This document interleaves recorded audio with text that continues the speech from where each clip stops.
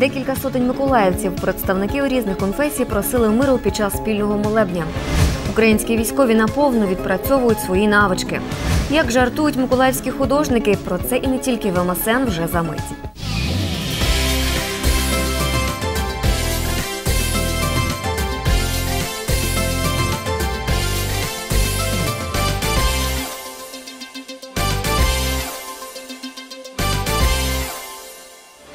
В ефірі телеканалу Март Муніципальна служба новин в студії Марина Михайловська. Вітаю. В Миколаєві відслужили молебень за мир в Україні та перемогу над агресором. В неділю 2 квітня на Соборній площі зібрались кілька сотень городян, а також представники різних релігійних конфесій, щоб об'єднатися в спільній молитві. В Миколаєві на Соборній площі зібралися кілька сотень городян, аби взяти участь в молебні за мир в Україні та перемогу над агресором. Перед початком заходу до присутніх звернувся губернатор Олексій Савченко. У своїй промові він зазначив, що наразі українцям дуже важливо об'єднатися, щоб побудувати соборну державу. Крім того, очільник області очікує, що на найближчій позачерговій сесії обласної ради депутати проголосують за визнання Росії державою агресором. Дякую будь-якої людини, яка свідомо або несвідомо притикнулася сьогодні до нас поглядом, серцем, щоб ми сьогодні єдиними устами, єдиною душою, єдиним серцем звернулися до Бога і попросили мира в нашому розумі, миру в нашому душ... нашій душі, миру в нашому серці. Після цього відбулося богослужіння за мир та перемогу. В спільній молитві об'єдналися представники різних релігійних конфесій.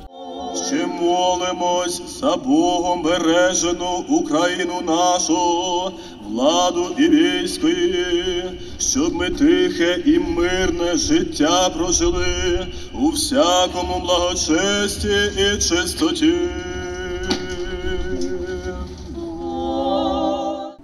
Іде війна, і гинуть найкращі сини і доньки нашого народу, захищаючи свою землю, нашу свободу.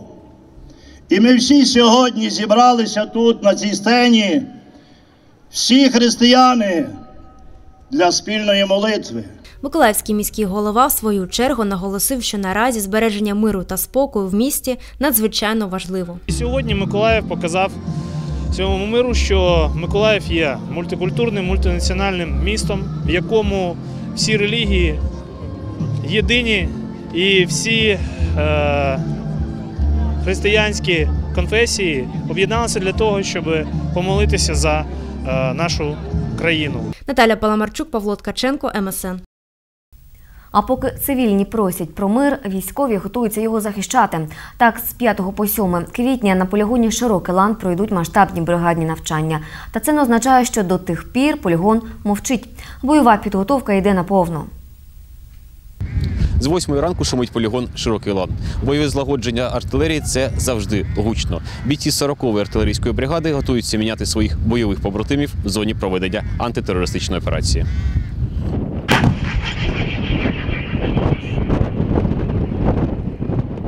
Розрахунки гармат МСТА-Б калібру 152 мм сьогодні працювали на дистанцію у 14 кілометрів. Новачки проходять посвідчення в артилерист. Досвідчені бійці відпрацьовують навички, передають досвід. Володимир Бурлов потрапив до артилерії під час третьої хвилі мобілізації. Відслужив і підписав контракт. Повернувся у ту ж рідну бригаду. Важкими стрільби назвати не можна. Вони легкі для нас. Просто багато людей нових, які не знають, як це робиться. Для них це вперше. Новачки є і серед рядових бійців, і серед командирів бойових розрахунків. Минулої суботи я випустився з Національної академії супутних військ міста Львова. Зразу після цього прибув для проходження подальшої служби в 40-ту окрему артилерійську бригаду, де зараз проходжу службу та буду висуватися разом з підрозділом в зону проведення АТО. Втім, бійці запевняють, навчали їх добре, в тому числі і люди з бойовим досвідом. Їх зараз вистачає і у військових вишах. Не, расчет уже полностью боевой, готовый к выходу. Да. Попереду ще велике навчання рівня бригадних. Бійці збираються використати таку можливість наповну. Много есть солдатов старших, старше меня по званию, которые делятся опытом и интересно слушать, как они были там. То есть я еще как бы там не был, и мне интересно послушать познавательно. На іншій ділянці полігону тренуються танкісти 59-ї окремої механізованої бригади. Екіпажі також змішані. Є нові контрактники, є й ветерани АТО. Водночас в бригаді закінчуються і збори резервістів, більшість з яких також має величезний бойовий досвід. Тому ще питання, хто у кого вчиться. Спілкується молодь, цікавиться, це дуже хорошо. І мені подобається, що молоді хлопці по 20-25 років дуже цікавляться технікою. Підходять, а якщо оце, а якщо оце, все розказуємо, показуємо. Ну, досвід є у нас трошки все-таки. Ігор Свищ з командиром своєї бойової машини разом свого часу прийшли у 59-ту бригаду по мобілізації, разом піднімали техніку і сьогодні разом на зборах передають досвід. Дуже позитивно, що хочуть знати. Це саме головне, тому що якщо нема бажання, танок це всього-навсього залізо. А якщо в тебе нема бажання, натхнення до нього, то він не поїде. Командир танкового взводу теж з бойовим досвідом, не дивлячись на молоді роки. До зони АТО потрапив фактично після випускних екзаменів у військовій академії. Говорить, сьогодні реалізує власну мрію. Ну, у мене вроді військових немає. Ну, я з після 9-го поступив в ліцей Героїв Крут. Після цього я закінчив, поступив в академію. З самого дитинства мрію стати воєнним. 59-та бригада теж на полігоні останні дні. Після навчання разом з технікою їдуть на бойове чергування до зони проведення АТО. Дмитро Тьосов, Олег Хусейнов, МСН.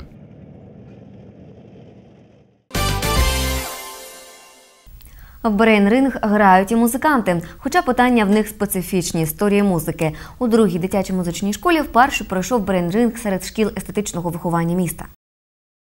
Брейн-рингом другу дитячу музичну школу не здивувати. Такі заходи проходять в ній постійно. Втім, цього року формат вирішили, якщо не змінити, то розширити точно. В нашому закладі цей брейн-ринг е, щорічно проводився, але в межах е, школи. Сьогодні ми розширяємо рамки і е, зробимо вперше на міському рівні такий захід. Всіх учасників за жеребом розділили на дві команди, а до журі запросили музикознавців з різних шкіл міста. Одна команда называется красивым словом «гармония», что в переводе с греческого означает «созвучие».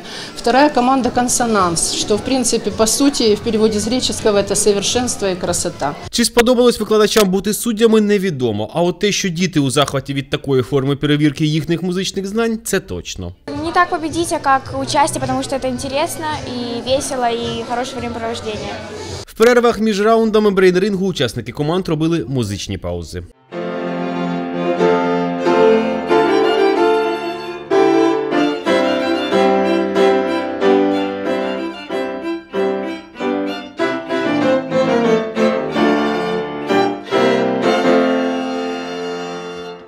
До речі, провести брейн-ринг у другій музичній школі стало можливим ще й завдяки технічному обладнанню закладу. Директор школи Тетяна Островська говорить, що вперше за останні 25 років міська влада виділила кошти і на музичні інструменти, і на звукопосилюючу апаратуру. Вдалося придбати також рідкокристалічні монітори у навчальні класи і навіть встановити систему відеоспостереження.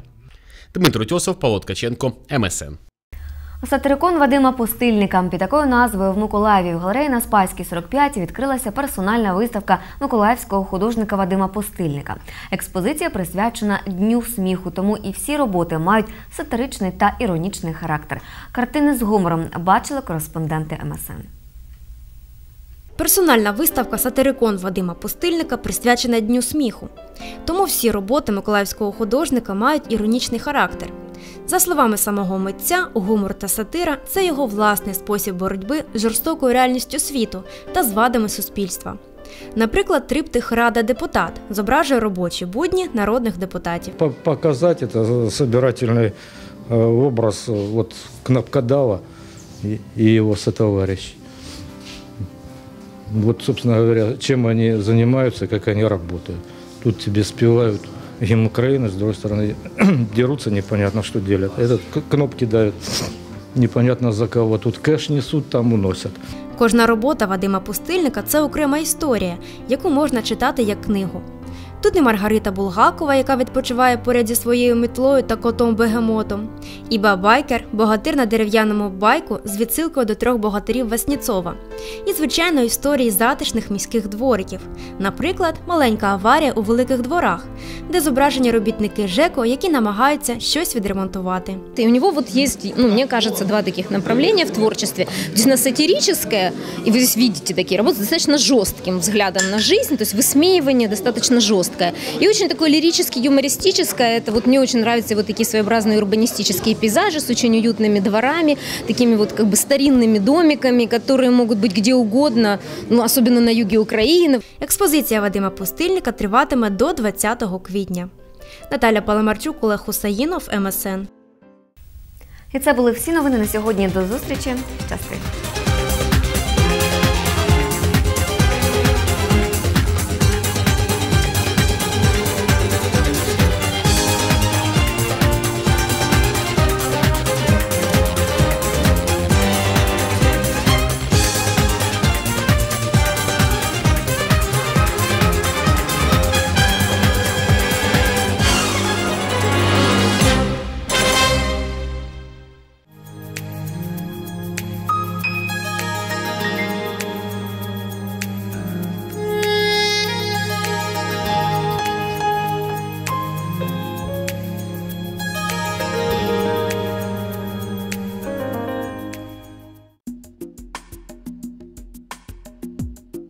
Весняний коктейль корисних та цікавих фактів для вас підготували 5 хвилин в студії Наталя Глябова. Вітаю!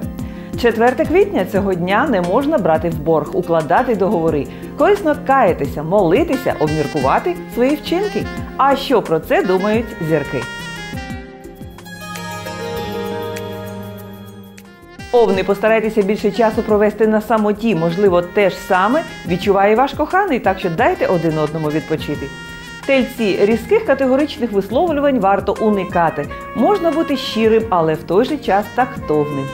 Близнюки постарайтеся не розпорушувати увагу на різнопланові інтереси, інакше ваша ефективність почне падати. У раків зараз формуються матеріальні перспективи, але все вимагає терпіння і вміння налагоджувати зв'язки з різними людьми. Леви, спілкуючись з родичами, виявляєте терпіння і такт. Їм зараз дуже нелегко, а ваші моралізаторства можуть остаточно вивести їх з себе. Дівам краще підлаштовуватися під обставини і намагатися отримати максимальну користь з того, що відбувається. Терезам час влаштувати генеральне прибирання. Безжалісно позбавляйтеся від сміття і мотлоху. Викидайте непотрібні речі. Скорпіони, ви можете круто змінити звичний образ дій у відносинах з важливими для вас людьми, або ж захочете здійснити якісь нововведення. Стрільці, тримайте себе в руках, не дозволяйте емоціям взяти верх над розумом. Повірте, ваше переживання нічого не варті. Козироги, не витрачайте сили і час на марні суперечки. Ви не зможете когось переконати, а от стосунки будуть зіпсовані. Водолії цей день вимагає підвищеної уваги і хорошої реакції на всі ті зміни, які забезпечать вам поштовхи для включення в новий ритм роботи. Риби, скористайтеся кожним шансом, вирішуйте складні робочі завдання, закривайте дірки, які вже давно викликають ваше невдоволення. 4 квітня Василя Теплого. На Василя було прийнято ворожити на сонці. Якщо воно сходить в червоних колах, це обіцяє хороший врожай. Спостерігали за небом сині хмари в ньому, віщували тепло і дощ. А господині в цей день пекли калачики, що символізують сонце. А ще 4 квітня Всесвітній день криси. Ідея започаткування цього дня належить американським крисоводам, які таким чином вирішили вшанувати своїх хвостатих улюбленців, декоративних щурів, а потім цю ідею відхопили крисоводи із інших країн. Про погоду.